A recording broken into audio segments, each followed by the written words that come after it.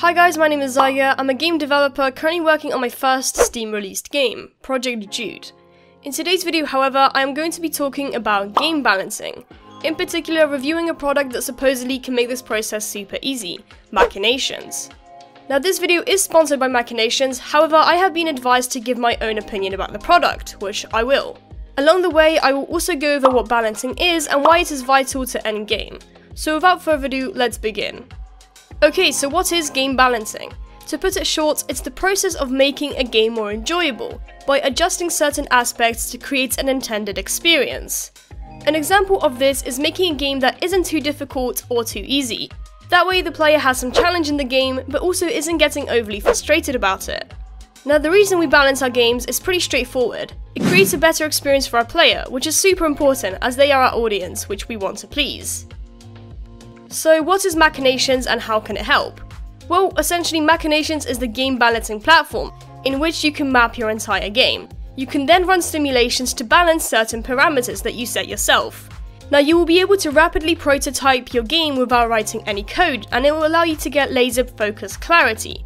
This all together will balance your player's experience. Okay, so let's dive into the product and see what exactly it does. Starting off, Machinations is fully cloud slash browser based essentially meaning it's all online.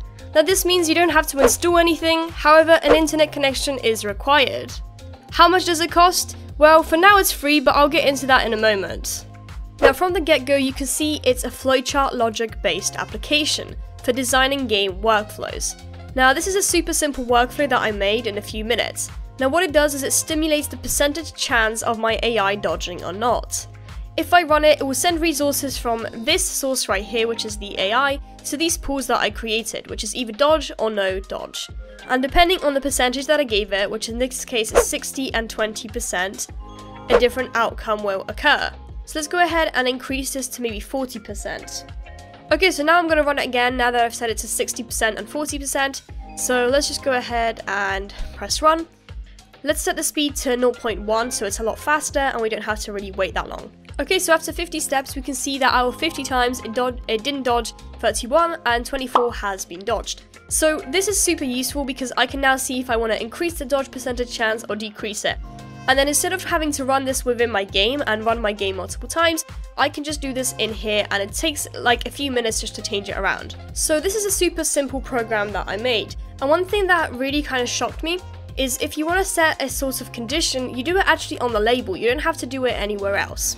Okay, so just as a quick overview of the kind of application itself, on the left we have the different tools, essentially like the toolbar, at the bottom we have a timeline, and on the right we have our properties.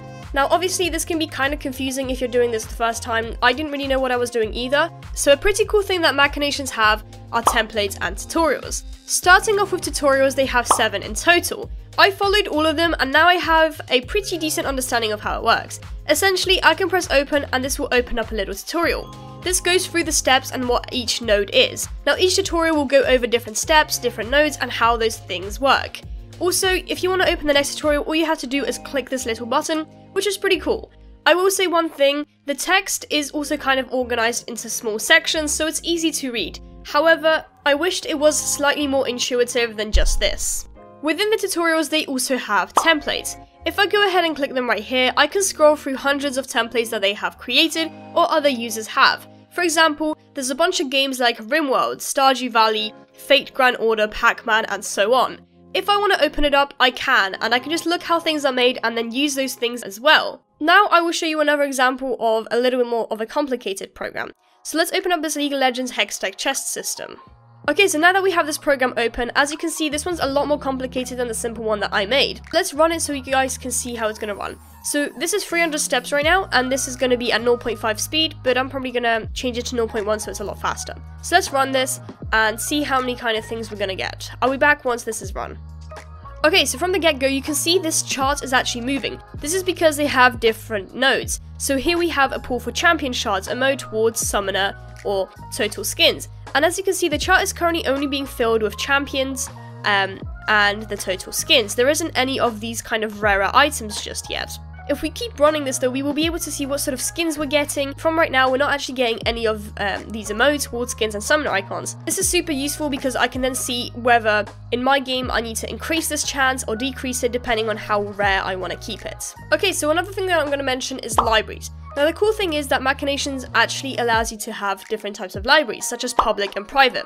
Now what this is, is essentially, once you make yourself a, for example, a function like they have here, you can add it to your private library. This means that if you want to reuse this template in any of your other programs, you can just drag and drop it in without having to recreate it again, which is super useful.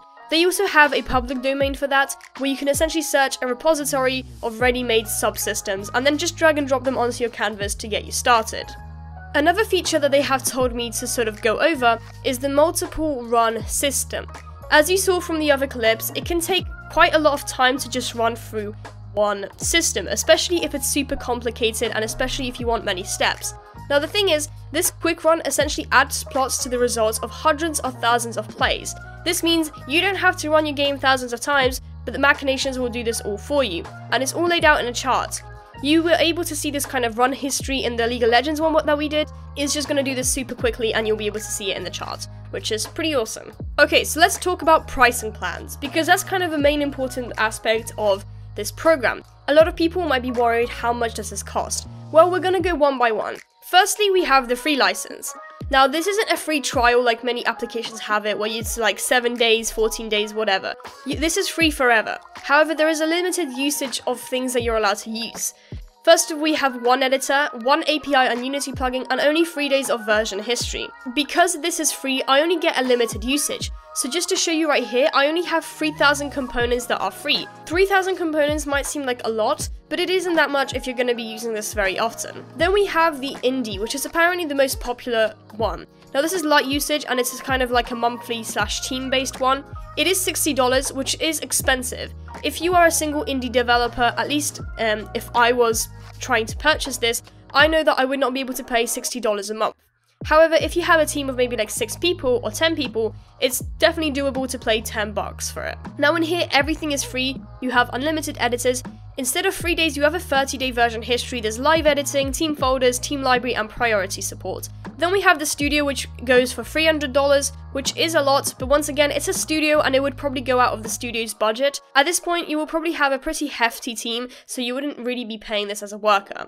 You have everything that has been featured in the indie package, as well as higher usage quotes, and you get 180 days of history, higher priority support, customer success, import from GDD and account manager, and a bunch of other stuff referenced down below here. Finally, we have the AAA, which is unlimited usage. It is $1,500.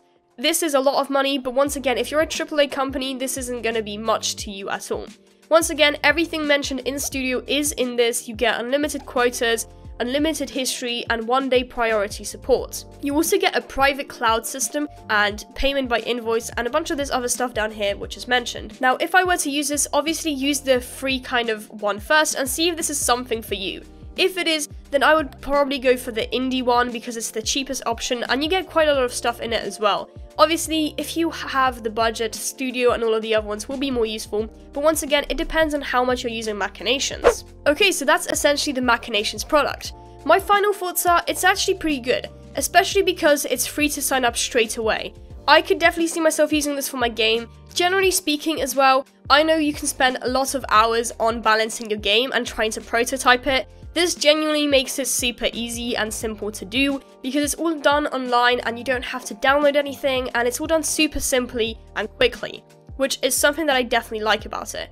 One thing that I do have to mention, the API integration isn't great. Right now, it's only integrated with Unity. They say they are working on Unreal Engine, Godot, and GameMaker, so I hope that does come in. This will definitely broaden the kind of horizon for other people to use it as well. Okay guys, so this is the end of the review. I want to thank you guys for watching. Make sure to check out Machinations down below. It's free to sign up straight away right now to test it out. And if you have enjoyed this video, make sure to subscribe and leave a like. Also, thank you so much to our Patreons. I really appreciate your support. And I'll see you guys next week. Bye!